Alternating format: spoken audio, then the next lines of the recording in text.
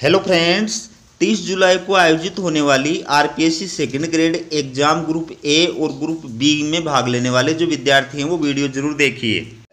तो आप ये मत सोचिए कि संस्कृत शिक्षा विभाग का है, उससे कोई मतलब नहीं है। आपको तो जीके और मनोविज्ञान तैयार करना है, ठीक है? आरपीएससी ने इसे कहीं नहीं कहा है कि संस्कृत डिपार्टमेंट का पेपर जो आपके नहीं आएगा, या उसके जो क्वेश्चन है, वो आपके नहीं आ सकते, ठीक है?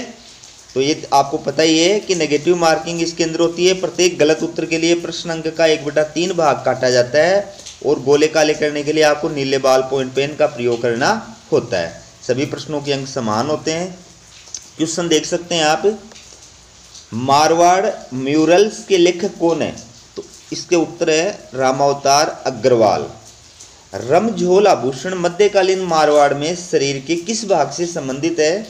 उत्तर है पैर पृथ्वीराज राठौड़ द्वारा रचित पुस्तक, वेली कृष्ण रुक्मणी किस भाषा में लिखी गई है? तो ये डिंगल भाषा में लिखी गई है। गिंदड़ नृत्य का संबंध किस स्थान से है? शेखावाटी। ओशिया के जैन मंदिर किस ज़िले में स्थित है? जोधपुर के अंदर। दादू पंथ का साहित्य किस भाषा में संग्रहित है? ढूंढाड़ी भाषा में। किस दुर्ग को गढ़ बीठली के नाम से जाना जाता है? तारागढ़ दुर्ग को। राजस्थान का क्षेत्रफल निम्नलिखित तो यूरोपीय देशों में से किन के क्षेत्रफल के लगभग बराबर है? तो इसका उत्तर होगा चार नंबर का, यानी नॉर्वे और पोलैंड। ठीक है? ये एक तरफ़ प्रदेश हैं अरावली के, और दूसरी तरफ़ पर्वत चोटियाँ हैं। आपको सुमिलित करके सही कूट बताना है तो इसका उत्तर होगा दो नंबर का। यानी उत्तरी अरावली जो प्रदेश है, इसकी चोटी है, जो पर्वत चोटी है, उसका नाम है भानगढ़ मध्य अरावली जो प्रदेश है, इसकी चोटी का नाम है तारागढ़ और दक्षिण अरावली जो प्रदेश है, उसकी चोटी का नाम है ऋषिकेश। निम्न में से कौन सी नदी राजस्थान की आंतरिक अपवाह तंत्र से संबद्ध नहीं है? मिस्त्री ठीक है? राजस्थान में बारहवा ज्योतिर्लिंग कहाँ पर स्थित है? इसका उत्तर होगा सिवाड़। अगला है केंद्रीय शुष्क बागवानी संस्थान जहाँ पर स्थित है तो इसका उत्तर होगा बीकानेर। ये एक तरफ़ पशुओं के नस्ल, पशु हैं, दूसरी तरफ़ उनकी नस्लों के नाम है, आपको सही कूट बताना है तो इसका उत्तर होगा तीन नंबर का। यानी ऊँट की जो नस्ल है, वो है बीकानेरी, भेड़ की जो नस्ल है, वो है मगरा, बकरी की जो नस्ल है, ये जखराना, और गाय की जो नस्ल है, वो है राठी। फिर है राजस्थान सहकारी डेयरी फेडरेशन लिमिटेड का मुख्यालय कहाँ स्थित है? उत्तर होगा जयपुर में। वर्ष 2001-2011 अवधि में राजस्थान के निम्नांकित जिलों में से किसमें उच्चतम दशकीय जनसंख्या वृद्धि दर पाएगी? उत्तर होगा बाड़मेर। राजस्थान में निम्नलिखित में से किस प्रकार के वन पचहत्तर से 110 सेंटीमीटर औसत वार्षिक वर्षा वाले क्षेत्रों में पाए जाते हैं? तो शुष्क सागवान वन। एक तरफ़ उद्योग है, दूसरी तरफ़ वो कहाँ स्थित है, ठीक है? तो आपको बताना है इनमें से सुमेलित कौन सा नहीं है। तो तीन नंबर का सुमेलित नहीं है, बाकी सुमेलित आप पढ़ लीजिए। पृथ्वी पर भूमि सतह की औसत ऊंचाई कितनी है? इसका उत्तर होगा 840 मीटर। निम्नलिखित महासागरों में से कौन सा एक संभवतया पेंथालासा का अवशिष्ट भाग है? तो इसका उत्तर है प्रशांत महासागर। कौन सी एक ग्रहणीय पवन नहीं है? उत्तर होगा मानसून पवने। ये सूचियाँ एक तरफ़ पर्यटन केंद्र है, दूसरी तरफ़ ज़िले हैं, सुमेलित करके सही कूट बताना है तो इसका उत्तर होगा तीन नंबर का। यानी पांडुपोल जो पर्यटन केंद्र है, ये कहाँ किस ज़िले में स्थित है? अलवर में। जसवंत सड़ा थड़ा जो है, ये जोधपुर के अंदर स्थित है, लालगढ़ पर्यटन केंद्र जो है, ये बीकानेर के अंदर स्थित है, और गागरोन का किला जो पर्यटन स्थल है, ये झालावाड़ के अंदर स्थित है। अगला है विश्व, वर्तमान विश्व में कौन सा प्रदेश ऋणात्मक जनसंख्या वृद्धि दर दर्शाता है? तो इसका उत्तर होगा पूर्वी यूरोप। निम्नलिखित में कौन सा भारतीय राज्य म्यांमार के साथ अंतर्राष्ट्रीय सीमा साझा नहीं करता है? ठीक है, इसका उत्तर होगा तीन नंबर का त्रिपुरा। मानसून निम्न में से किससे प्रभावित नहीं है? नहीं होता है। तो इसका उत्तर होता है नार्वेस्टर। निम्नलिखित नदियों में से कौन सी एक गंगा में दक्षिण की ओर से नहीं मिलती है? गंगा में दक्षिण की ओर से नहीं मिलने वाली नदी है गोमती। बाकी तीनों दक्षिण की ओर से मिलती है। निम्नलिखित में से कौन सी गैस ओजोन क्षरण के लिए प्रत्यक्षतः उत्तरदायी नहीं है? उत्तर होगा कार्बन डाइऑक्साइड। निम्नलिखित में से कौन से भारतीय राज्य की ना तो तटरेखा है, ना अंतर्राष्ट्रीय सीमा? इसका उत्तर होगा तेलंगाना। किस संविधान संशोधन अधिनियम ने राजस्थान में राज प्रमुख संस्था का लोप किया था? तो उत्तर होगा सातवां संविधान संशोधन अधिनियम। अगला है, मुख्यमंत्री की नियुक्ति भारत के संविधान के किस अनुच्छेद के अंतर्गत की जाती है? अनुच्छेद एक फिर है, एक तरफ़ क्रांति, दूसरी तरफ़ संबद्ध क्षेत्र। कौन सी क्रांति किस क्षेत्र से रिलेटेड है? सही कूट आपको बताना है तो चार नंबर का उत्तर होगा यानी हरित क्रांति जो है, इस, ये किस क्षेत्र में हुई थी? कृषि क्षेत्र में हुई थी, पीत क्रांति जो है, ये तिलन के क्षेत्र में हुई थी, श्वेत क्रांति जो है, ये दुग्ध के क्षेत्र में हुई थी और नीली क्रांति जो है, ये मछली पालन के क्षेत्र में हुई थी।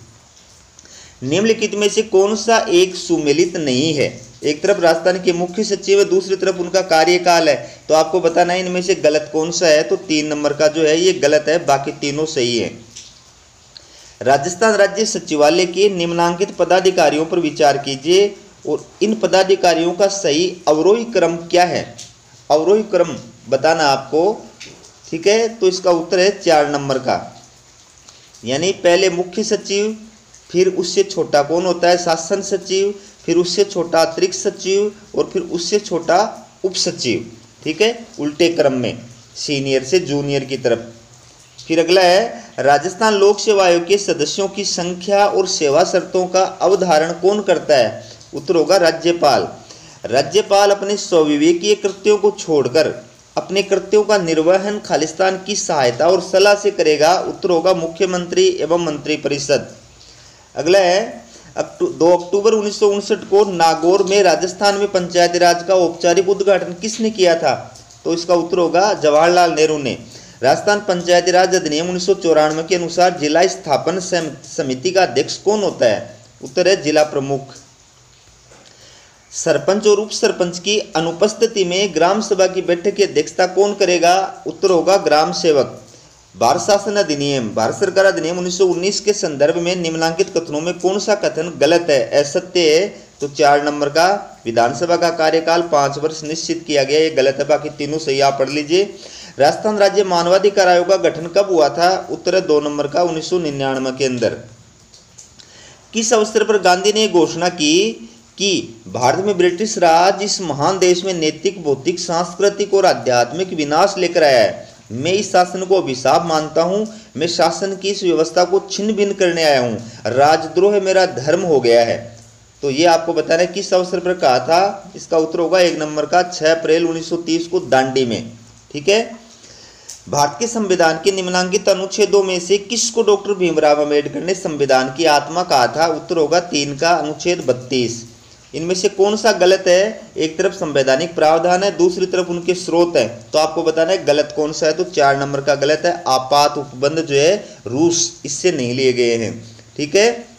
ये गलत है, ये जर्मनी से लिए गए हैं। बाकी तीनों सही आप पढ़ लीजिए। फिर भारत शासन अधिनियम 1935 के संदर्भ में असत्य कथन की पहचान कीजिए। गलत कथन कौन सा है? प्रांतीय सूची में 36 विषय थे, ये गलत है। बाकी तीनों सही आप पढ़ लीजिए।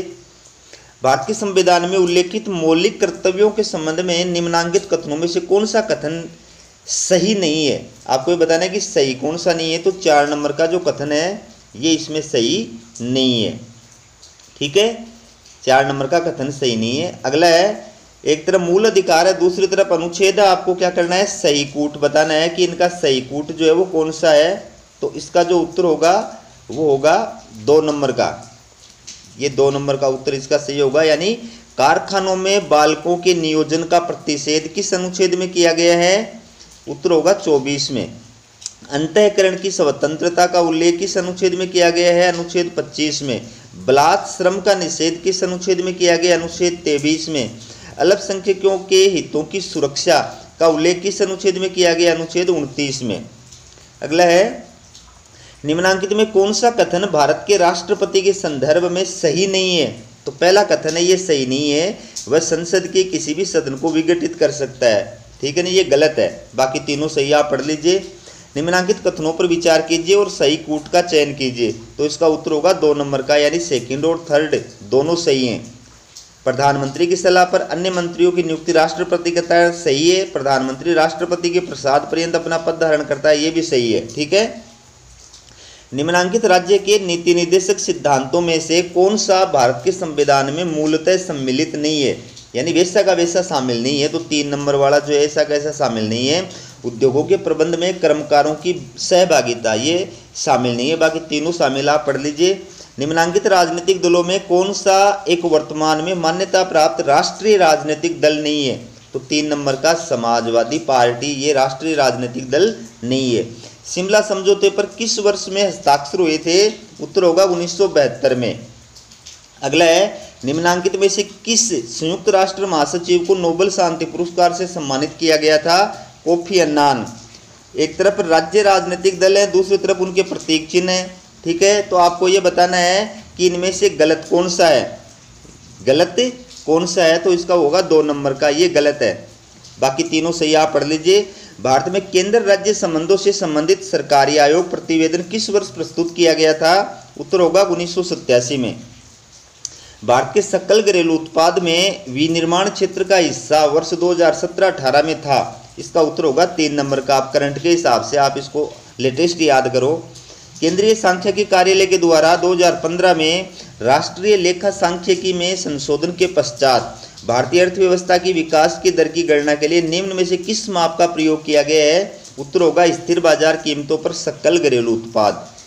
निम्न में से किस वर्ष में भारत की स्थिर कीमतों पर प्रति व्यक्ति विशुद्ध राष्ट्रीय आय में गिरावट सर्वाधिक रही है? इसका उत्तर होगा, एक नंबर का उन्नीस से अस्सी। प्रधानमंत्री किसान संपदा योजना के बारे में निम्न में से कौन सा कथन सही नहीं है? तो दो नंबर का कथन है, ये सही नहीं है, बाकी तीनों सही आप पढ़ लीजिए। अगला है, भारतीय वायुसेना ने राजस्थान में जहाँ युद्धाभ्यास वायु शक्ति 2019 करना तय किया, उत्तर होगा पोकरण। इसको करंट के आधार पर याद कीजिए आप। वर्ष 2018 में भारत के सर्वश्रेष्ठ 10 पुलिस स्टेशनों में राजस्थान के दो पुलिस स्टेशनों को पहला और सातवां स्थान मिला। पहला स्थान पाने वाला पुलिस स्टेशन कौन सा है? तो उत्तर है कालू पुलिस स्टेशन, बीकानेर। अगला है, निम्नलिखित में से किसका दिसंबर 2018 में राजस्थान क्रिकेट संघ के अध्यक्ष के रूप में चयन हुआ था? उत्तर है सीपी जोशी। ठीक है, सीपी जोशी। अगला है, निम्न में से कौन सा कथन महात्मा गांधी राष्ट्रीय ग्रामीण रोज़गार गारंटी स्कीम के बारे में सही नहीं है? मतलब गलत कौन सा है? तो एक नंबर वाला ये गलत है, आप पढ़ लीजिए। बाकी तीनों सही है। ये भी आप पढ़ लीजिए, याद करने की दृष्टि से परीक्षा के लिए। माध्यमिक शिक्षा बोर्ड राजस्थान ने दसवीं कक्षा की 2019 की परीक्षाएँ कराने की तिथियाँ तय की हैं। उत्तर है एक नंबर का। अब इसको करंट के आधार पर याद कर लो आप। राजस्थान के नवनिर्वाचित मुख्यमंत्री अशोक गहलोत का शपथ ग्रहण समारोह जयपुर में, जहाँ आयोजित हुआ, दो नंबर का है, अल्बर्ट हॉल। राजस्थान सरकार में अशोक चांदना जिसके मंत्री हैं उत्तर युवा मामलात एवं खेल। राजस्थान के उद्योग कृषि विभाग ने, जहाँ कृषि पारिस्थितिकी पर्यटन एवं अंतर्राष्ट्रीय पुष्प अनुसंधान केंद्र विकसित करने की योजना बनाई है, उत्तर होगा माउंट आबू। जनवरी 2019 में पुणे में आयोजित खेलो इंडिया यूथ गेम्स में भीलवाड़ा की फिरदोस कायम खानी ने किस स्पर्धा में स्वर्ण पदक जीता था। उत्तर है 200 मीटर बटरफ्लाइंग ये क्वेश्चन दूसरे तरीके से भी आ सकता है। दिसंबर 2018 में गाँव मामूसर में दो दिवसीय लोक संगीत और कला उत्सव का आयोजन किया गया। ये गाँव राजस्थान के किस क्षेत्र में स्थित है? उत्तर है शेखावाटी। अगले है, रमन एवं अनमोल की एक ही बुद्धि लब्धि है, जो 120 है। रमन अनमोल से दो वर्ष छोटा है। यदि अनमोल 12 वर्ष का है तो रमन की मानसिक आयु क्या होगी? तो उत्तर होगा तीन नंबर का 12 वर्ष। वह प्रथम मनोवैज्ञानिक जिसने मानव व्यक्तित्व के अवचेतन भाग की व्यवस्थित रूप में छानबीन का प्रयास किया है, कौन है? Sigmund Freud. निम्नलिखित में से कौन सा कथन अधिगम के बारे में सर्वाधिक उपयुक्त है? उत्तर होगा एक नंबर का, यह प्रक्रिया है उत्पाद नहीं एक विचार अथवा अवधारणा के निर्माण में उपयुक्त वैचारिक प्रक्रिया जो नई मौलिक तथा उपयोगी है, क्या कहलाती है? उत्तर होगा सृजनात्मकता। राजस्थान विधानसभा में विपक्ष के नेता कौन है? तो इसका उत्तर होगा तीन नंबर का, यह वर्तमान में गलत है। आप इसको लेटेस्ट के आधार पर याद कीजिए। ठीक है ना, राजेंद्र राठौड़ है शायद वर्तमान में। फिर है, निम्नलिखित में से कौन सा सिद्धांत अधिगम के व्यवहारवादी सिद्धांतों में सम्मिलित नहीं है? उत्तर होगा तीन नंबर का, क्षेत्र सिद्धांत। बी एफ़ स्किनर का अधिगम सिद्धांत मुख्यतः प्रयोगशाला प्रयोगों पर आधारित था, जबकि हल्का सिद्धांत किस पर आधारित था? गणितीय गणनाओं पर। निम्नलिखित में से कौन सा अधिगम का निर्मितिवाद विचार नहीं है? इसका उत्तर होगा एक नंबर का। अधिगम वैसा का वैसा, यानी हु संप्रत्यात्मक स्कीमा है। ठीक है? ये गलत है। अगला है, गेने। गेने के अनुसार निम्नांकित में से कौन से आठ में से चार अधिगम प्रकारों का सही पदानुक्रमिक क्रम है? तो इसका चार नंबर का जो है, वो सही होगा। बहुविभेदीकरण, फिर संप्रत्यय, फिर सिद्धांत और फिर समस्या समाधान। निम्नलिखित में से कौन सी व्यक्तित्व आकलन की प्रक्षेपित तकनीक नहीं है? उत्तर होगा, मिनेसोटा बहुस्तरीय व्यक्तित्व अनुसूची। निम्नलिखित में से कौन सी अच्छे समायोजन की विशेषता नहीं है? उत्तर है, चार नंबर का महत्वपूर्ण गलतियों की खोजने की अभिवृत्ति। और है, इसको भी याद करो, एग्ज़ाम की दृष्टि से। अगला है, निम्नलिखित में से अध्यापक का कौन सा कार्य विद्यार्थियों की सृजनात्मकता में रुकावट है? उत्तर है, विद्यार्थियों को शीघ्रता से निर्णय के लिए ज़ोर डालना। भारतीय चिकित्सकों फिजिशियन के अनुसार व्यक्तित्व के तीन अवयव, पित्त, यानी बाइल, वात, यानी वायु और कफ, यानी मयुकस हैं। व्यक्तित्व का ये वर्गीकरण कहलाता है। उत्तर है तीन नंबर का प्रकार सिद्धांत। अगला है, निम्नलिखित में से व्यक्ति की कौन सी विशेषता सांवेगिक बुद्धिमान व्यक्ति की विशेषताओं में शामिल नहीं है? उत्तर है, संवेगों की अभिव्यक्ति पर नियंत्रण न रख पाना। मंद गति से सीखने वाले बालकों के लिए निम्नलिखित में से कौन सा शैक्षणिक प्रावधान उपयुक्त नहीं है? उत्तर होगा तीन नंबर का, तवरण। अभिप्रेरणा में, अधिगम में, अभिप्रेरणा का निम्नलिखित में से कौन सा कार्य नहीं है? एक नंबर का, जीव को क्रमहीन तरीके से गतिमान करने में मदद करना। जो कार्य है वो भी पढ़ा करो। एक पाँच वर्ष की शारीरिक आयु वाला बालक या बालिका सात वर्षीय आयु वाले के समान परीक्षण पदों को सफलतापूर्वक पूर्ण कर लेती है या लेता है, उसकी बुद्धि लब्धि क्या होगी? तो एक नंबर का है 140 अगला है, किशोरों के शारीरिक विकास के संदर्भ में निम्नलिखित में से कौन सा कथन असत्य यानी गलत, कौन सा है? चार नंबर का गलत है, शरीर के अनुपात में कोई परिवर्तन नहीं होना, बाकी सही है, पढ़ो आप। निम्नलिखित में से कौन सा एक अभिक्षमता परीक्षण का उपयुक्त अनुप्रयोग होगा? तो तीन नंबर का है, इसका उत्तर बालक के चिकित्सा व्यवसाय यानी डॉक्टरी में सफल होने का परीक्षण करना। एक बालक बुद्धि औसत में एक बालक बुद्धि में औसत उपलब्धि अभिप्रेरणा में उच्च, सृजनात्मकता में निम्न और सामाजिक विकास में औसत है। ये उदाहरण किसका है? अंत व्यक्ति भिन्नता का। बालक के विकास के संदर्भ में निम्नलिखित में से कौन सा कथन सत्य है? तो चार नंबर का कथन सत्य है, विकास सामान्य से विशिष्ट की ओर अग्रसर होता है। अगला है, कौन सी फ़सल का उत्पादन आहड़ में नहीं होता है? होता था। उत्तर है, इसको आरपीएस ने डिलीट कर दिया है। गुज्जर प्रतिहारों की राजधानी कौन सी थी? इसका उत्तर होगा, एक नंबर का पीलो मोलो यानी भीनमाल। ठीक है? अगला है हर केली संस्कृत नाटक के रचयिता कौन है? उत्तर है विग्रह राज चतुर्थ।